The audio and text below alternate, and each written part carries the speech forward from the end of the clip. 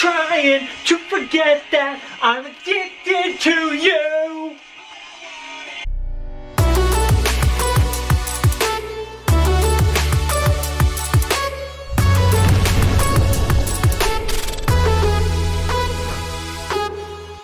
What is poppin' Funko Pop Academy? Hope everybody's having a phenomenal day. Craziness is still going on. Day like 30, I don't even know where we're at right now. Every day feels the same. Filming, it's Saturday. This should come out on Sunday, so I guess I know where we're at. Today we have a super fun-filled video. So can't really go hunting right now. Haven't been ordering a ton of pops either. So trying to come up with some fun, different ideas to do for videos for all of you guys.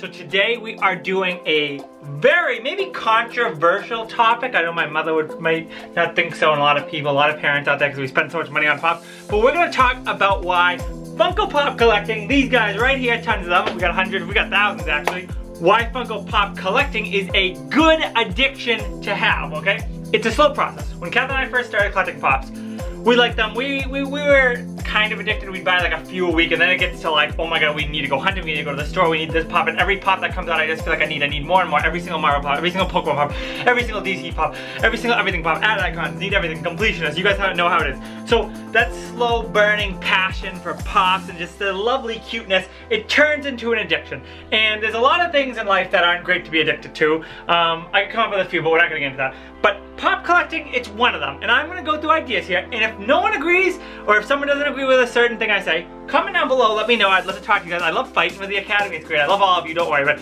I love having discussions, intellectual conversations. So we're gonna get into this, and I think you guys will agree, but these are the reasons that Funko Pop collecting is a good addiction. Number one, I have it written down. I was up at like, let's see, I sent this text to myself at 12.49 a.m. So it was a bunch of like random thoughts I had when I was trying to fall asleep. And these are just some ideas off the top of my head. And if anyone else has others they want to share, definitely hit me up down below, let me know. But the number one is, this is very simple and you could really say it for any addiction, but it gives you something to do. That's one, that's just the, that's the first part. But let's get into that. So what I mean is, if it's a Sunday afternoon and I'm bored, like right, right now we can't go hunting, but on a normal Sunday afternoon, I'd say I don't have too much going on, it's raining, whatever the reason, you go to the mall, you go, you know, Barnes & Noble, you go to Hot Topic, you go to Walmart, you go to Target, you go to ThinkGeek, you go like, well, now those aren't really here, you go to GameStop, you go to comic book stores, okay? It gives you something to do. It's fun, okay? You go hunting. Sometimes you don't even find anything, but it's still fun. It's a few hours of your time. I can make videos for you guys. I have, I, I love doing that, okay? I love going on hunts, filming what I find, you know, doing cool vlog action. So overall, it's fun. You know, sometimes you run into other collectors, all that. That kind of gets us into our second point. Now, this is one that, I don't know, I know Captain didn't totally agree with me on this one, but I, it kind of makes sense in a way, this kind of has to do with something gives you something to do. It also saves you money. Now, everyone's gonna be like, oh my god, okay, coming from me, I probably spent well over $10,000 on Funko Pops. I'm admitting it, okay, you have it on film. Probably more, I don't know. I mean, I don't buy like hundreds of dollars of grails left and right, but just collecting every, you know, week, going out, spending, you know, at least sometimes, you know, over $100 a week on Pops it adds up quick, you know, especially conventions, going to, going to conventions, you get even more. I mean, alone at New York Comic Con, I spent like well over 500 just on those pops, so there you go. But how it saves you money is because if you go hunting and you don't find anything, okay? That saves you money. See how simple that is? Everyone's gonna think I'm stupid, but I'm serious, okay? Like, sometimes when I'm bored, when you get bored, you spend money. That's just what happens, okay? You go out to eat, you go to the movies. Well, I love going to the movies. You know, you go, I don't know, bowling, something, okay, it costs money. Obviously, you gotta keep yourself entertained. But by going pop hunting, okay?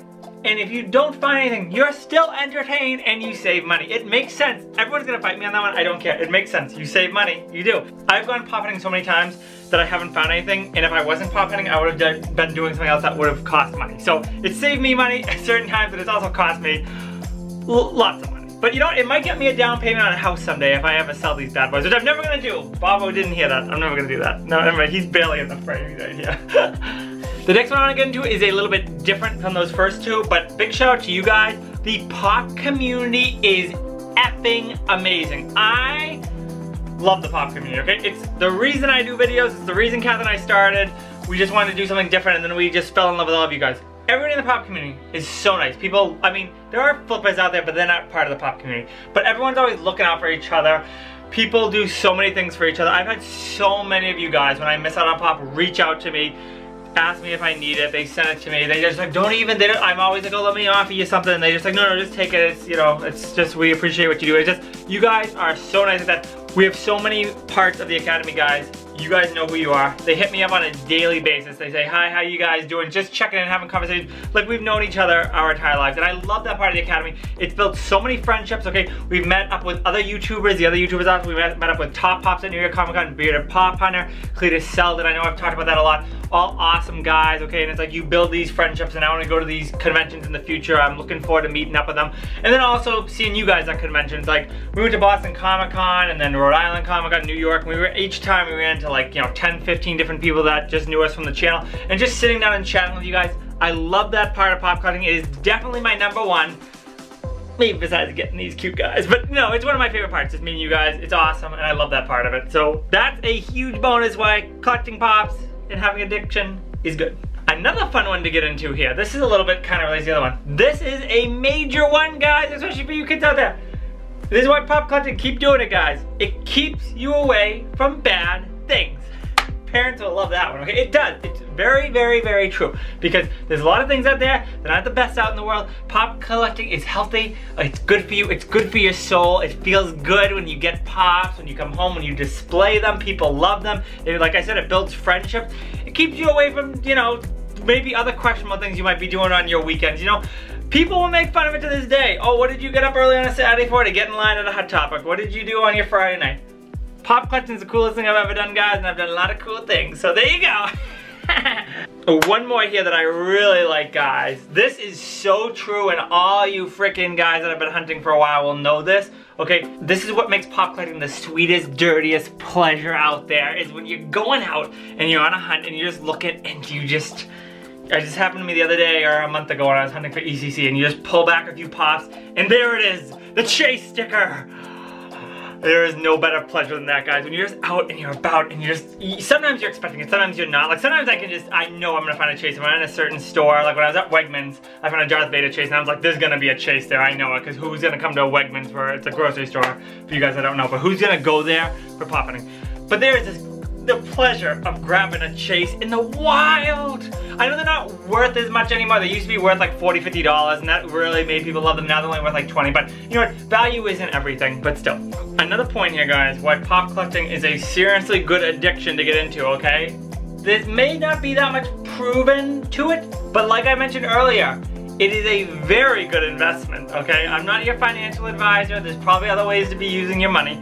But I'm telling you, I'm you, I'm not a flipper, okay? Have I bought and popped and sold them? Okay, I absolutely have, okay? But I don't buy pops to flip them like people do out there. But I'm telling you, I would never part with my collection, so it's not, this isn't a good example for me, but a lot of people build up their collection and then they sell it, it gets to be too much.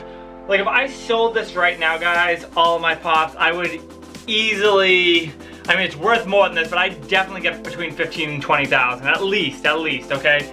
Just from what I've seen companies throw at people. I would never do that ever because of what they mean to me. I love them. But I'm just saying that if, you know, if I wasn't so obsessed with them, you know, that's a good investment. I mean, you know what? It's kind of like I'm, I don't know if I'd be making money. I mean, I would be because I probably only spent like 10 grand on Funko Pops. I don't really know if I spent 10 grand. It might be 9 grand. I have no idea. But it, it's almost like a bank account for your money and you either store it, maybe you're not getting much interest in it, but still, it's, it's, it's a good investment, Funko Pops. One more point I want to throw in here, guys. Now, this is a really good one. Getting a little philosophical with all of you.